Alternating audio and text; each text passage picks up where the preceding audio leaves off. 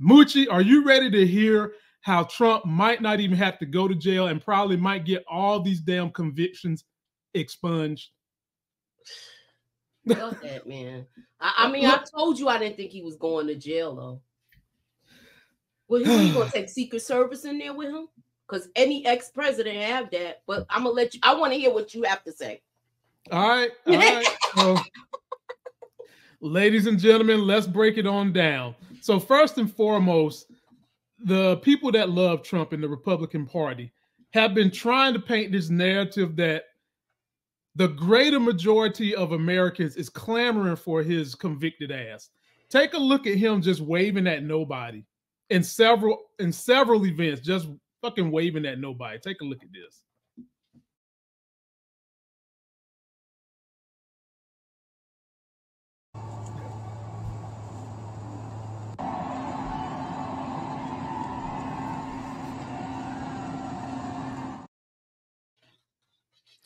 So he just pops out these little circles, lead Trump Tower, just wave at no damn body. And basically, the Republican Party is trying to make it feel as though there is more adulation being thrown upon this man because of what's standing in front of him. I dropped a video last week on how white privilege might be saving this guy, but at the end of the day, it's not white privilege that's going to save him. That's not what's going to save him. And before I tell you exactly what's going to save him, take a look at this.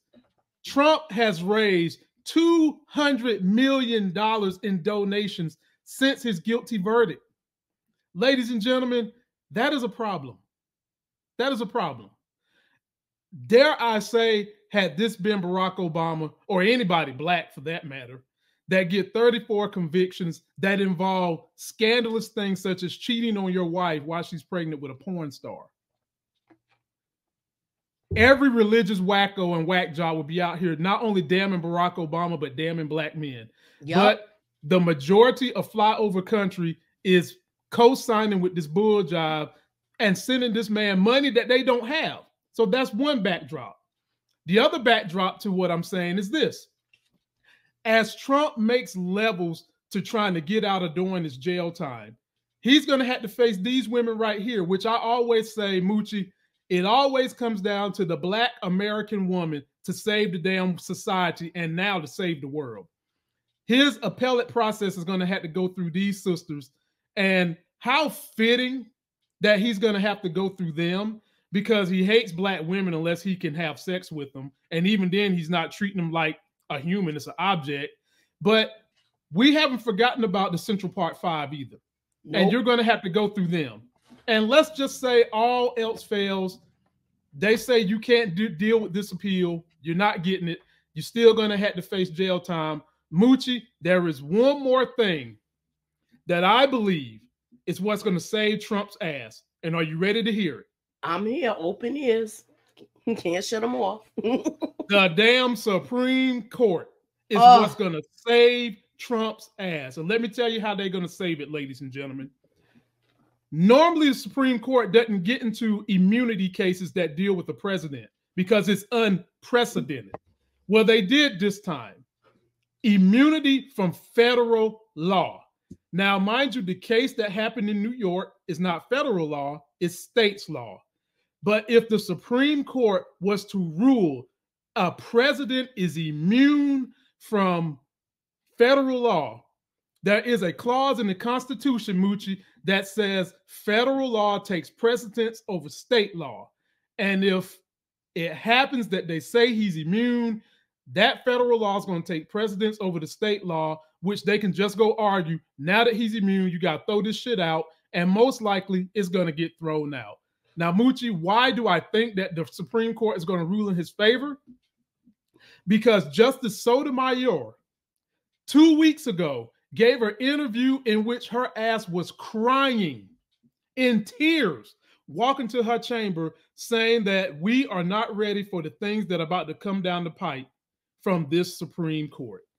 Having said that, Moochie, I believe the biggest impediment to Trump not going to jail is going to be this Supreme Court saying that he's immune from federal legal actions, federal felonies, federal laws, and therefore they'll be able to go and relitigate this right here that happened in New York and get rid of all of it. What say you, my sister Moochie? I feel like if they do that, it's gonna it, it, it's just showing you that the scales of justice are completely in favor of the white man. I, I you cannot uh, uh, if, if Obama did this same crime, they would mm-hmm. put him under the jail, under, under the, the jail, under it. And it, it, it, this is the same feeling I had January 6th when we saw those people walk up in there with no problem, and everybody in their minds thought it, that that's that's of color. If this happened, if this was a, a, black group of people, they wouldn't have made it past the first step.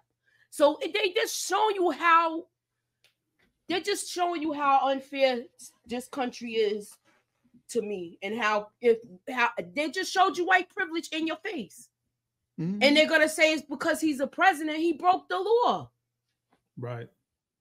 He, he broke, the law. He shouldn't be. He, he's a felon. He shouldn't be able to, to. He can't vote. So how are you running for office? So if that's the case, remove every conviction from somebody that has mm-hmm. because now it's legal in half the states. So you need to, if you're going to straighten out his record, you need to straighten out the rest of the people's records.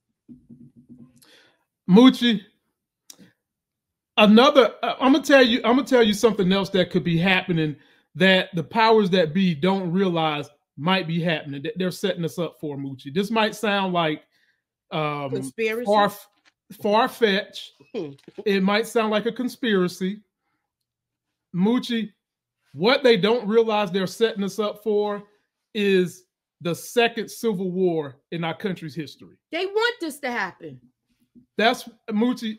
if by any of these means, Trump, first of all, doesn't get convicted. I think that's the only all. If he doesn't get convicted and somehow he's able to use the Supreme Court that he enacted three of these buffoons in office, yet he's trying to accuse the Biden administration of doing political persecution. What the hell is this going to look like? Secondly, Moochie, if they let them, if they let them get away with this, you're telling people that there is no real justifiable means of equal um, fair law in this country. That's what you're telling people. And one argument that they have been using for why they might not put him in jail, Moochie, which makes me mad as all get up, is that they are worried that if we put them in jail, we might be risking another insurrection. And I'm like, the F? If but they insurrect, throw their asses in jail too. Get all of them. Them the ones we don't need in society that claims to be a democratic society in the first place. Throw their asses in jail. Because I remember Moochie clearly. When the Million Man March first happened, they were so worried they had the damn um the damn National Guard down there trying to thinking that something was going to happen. Just worried. And if that would have got out of hand, do you think they would have had a problem with going through every record they could find and throw every single person in jail that they could? Mm-hmm. Wouldn't have mm-hmm. been a problem. No. The, they I, still I like they're making double standards. And now, if they pass this 2025 rule, and yeah. let's say if it's an insurrection in the opposite direction, where mm-hmm. it's majority of people of color, I, am gonna give you a, a hypothetical. Okay. Which, if it could happen, let's say if all the migrants and all the the, the people of color got together and decided to do a, a, a, a insurrection, mm-hmm. you know how they would turn? They would send everybody back, and they would put all the people that live here in jail. In jail, all of them. So Every it's like, stop.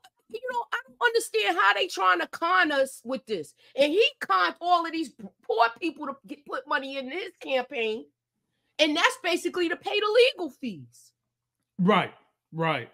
Well, let me bring in um our homie Monique Nicole in the building, ladies and gentlemen, because we we're doing politics on the first subject because I know this is something that turned her blood pressure up, and we don't want her blood pressure to skyrocket too hard Woo. as we go to these subjects. But basically, Monique Nicole, I'll let you get in on this. We're talking about what I feel is the biggest impediment to Trump not going to jail. And I think it's going to be the Supreme Court saying that he has presidential immunity, which will then cover him from state state felonies because the Supreme, the Constitution has a clause that says the federal federal guidelines supersede state guidelines. That's what I think might be the only thing to keep him out of jail and get all his convictions basically going away. How do you feel about the likelihood of Trump going to jail and that possibly happening, Monique? Listen, I uh, when it comes to this shit, sorry, it's probably too soon to curse. Oh no, no, um, hey, look, like like we say about uh, it's five o'clock somewhere. this channel is one of your platforms, and by the way, you might want to get this right here. Be sure to go to shoplifegains.com. Get the shirt that says "Convicted looks good on me" because this might become a commemorative because he might only be convicted from now till July 11th when his hearing goes. But go ahead, floor is yours. Yeah, you know, um, shit, what was I gonna say? You know, y'all, I've lost faith in politics, government, so I don't really have um high expectations anymore. Mm-hmm. Um, especially since this person entered government in the White House. So, you know, Lamont, um, I don't even have predictions like you and Moochie do. I'm just sit, I'm just here. Really, when it comes to this, I'm gonna sit back. I'm gonna listen to y'all. I'm gonna take what y'all say because you guys are well versed in this. And I'm kind of just like, I'm gonna wait and see, right? Because right. We've seen that the government, the powers that be, have bent the rules for Trump.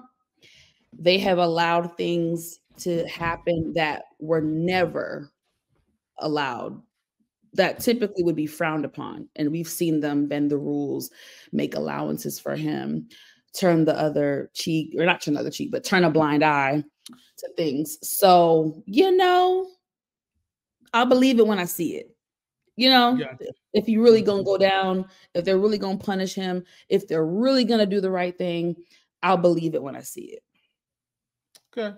Is that fair? I'll, Is that oh, that's hundred percent fair. And um, I'll get us out of here on this.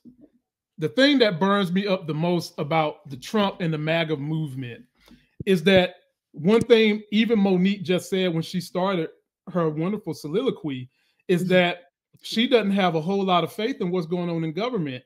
And that is something that Trump and the MAGA movement wants. They want you to doubt everything in government which kind of allows you to believe some of the craziness that they throw out there because everything they say is not rooted in fact. And the other thing that bothers me is Trump is corrupting the plight of black people from the inception of getting freedom till now when we used to always say the government is skewed against us. The government is harming us. The government has these things and mechanisms in place that are hurting us. He's taking that vitriol and trying to use it for his own plight. Dude, stop it. And I'm not talking to him, I'm talking to the buffoons that believe in this shit. that's what he's doing. And them same people that's believing in this never believed in it when black folks were saying it. Never, mm. never. But now all of a sudden, because a white guy saying it, you believe in all this shit. The government has conspiracies against people the government is out to get people. But you never believed it when black folks were saying that type of stuff. So, yeah, folks, for me, this hinges on the Supreme Court. And when you look at the ones on the right, if you're facing the screen, no faith for me. That which is the number one reason I continue to say, no matter how much you hate Joe Biden, yeah. that's the number one reason you must vote for him the number one reason. So let us know what you think. Be sure to go and get this memorabilia because I'm telling y'all it might be memorabilia when the mm-hmm. Supreme Court gives their ruling sometime late June, early July, oh, and they say that he gets immunity. This shirt is going to be a memorabilia piece. ShopLifeGains.com. Convicted looks good on you. Hell, I might have to take it down then because I probably could get sued because it won't be true no more. Dang. Yeah. Lamont, I actually thought that they were gonna um drag it out with appeals. They are, but let's say they do drag it out with appeals. The Supreme Court has already done heard, heard the hearing on his immunity case. And so if they drag it out with appeals and the Supreme Court just comes out and says, look, because he's a former president, um, he gets immunity. Presidential he should not immunity. get immunity because he was doing espionage. You don't matter. Files that they found there. This dude is giving giving away secrets. This is why all of these people is coming in here. I don't care what nobody says. This was all calculated with him. He's a traitor in my eyes. He doesn't care about the U.S. He definitely don't care about black people. All of those fake things where you see him standing behind a whole bunch of black people, those are computer generated. They are not real. They're just like he fabricated the crowd in the Bronx. It wasn't that many people there for him. But yet they hey. took they took pictures like it was a lot of people, and they even swapped out different footage eh, footage to show to make it look like it was more people than than it really was there. Camera tricks, everything is smoke and mirrors with him. He's a con artist. I just I, I, don't even feel bad for the people. If you gave him money for them ugly sneakers, if you gave him money for them them horrible looking sneakers and, the, and the, whatever he was else he was selling, you need to put a real. You need to have a lollipop because you a sucker. That's what you are. You was a lick. Wow. So what, Moochie? Tell these ninjas, bro. You need a yo. Put me on camera, yo. That put me on mother. Yo, I'm about to say that to somebody. My nigga, you. What you say? You nigga, you need a lollipop because what? You, you a sucker? You got leg. What? Mm. What you? Yeah. That's the word. I'm gonna use that. Mm-hmm. Use well, that. ladies and gentlemen, let me know what you think. But go in there and buy this shirt. Get like 30 of them while you're in there. Right. Post your comments. Let us know what you think.